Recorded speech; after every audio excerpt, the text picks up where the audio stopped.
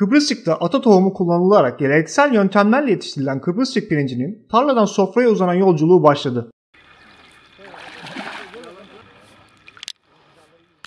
Diğer pirinç türlerine göre daha küçük olmasına rağmen lezzeti dolayısıyla talep gören coğrafi işaretli Kıbrısçık pirinci 400 dekar sulak arazide toprakla buluştu. İlçeye 20 kilometre uzaklıktaki Cuma Deresi ve Derici Köprüsü mevkileri içine alan Çeltikdere Vadisi'nde köy sakinlerin geleneksel yöntemlerle ekimini yaptığı Kıbrısçık pirincinden yılda 150-160 ton verim elde ediliyor.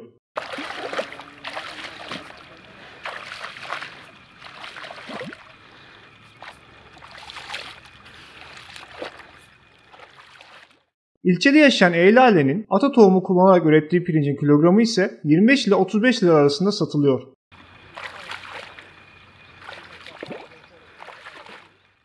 Pirinç üreticisi Süleyman Bahadır ise yeni sezon için pirinç ekimine başladıklarını söyledi.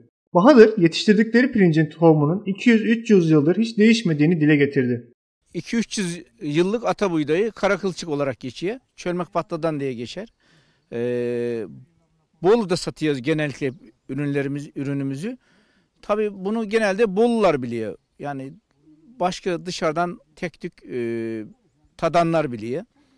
E, burada büyük olarak e, Çat Bükü, Toraman, Dut Dibi, e, işte Gökkaya, yukarıdan Çeltik Deresi, Seben'e ait iki köyümüz var. Çeltik Deresi mahalleleri. E, daha yukarıya Kıbrısçı falan çıktığımızda Mondu, e, Deveci köylerimiz ekiyor çeltiklerimizi.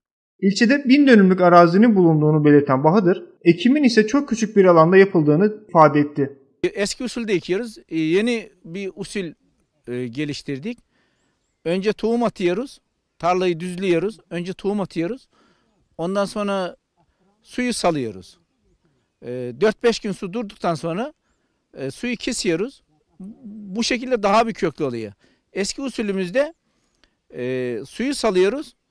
Tarlayı bulandırıyoruz. Ondan sonra suyun içinde şey yapıyoruz. Tohum atıyoruz. Yaklaşık bin dönüm falan var ama 400 500 e, dönüm bir ekiliş var.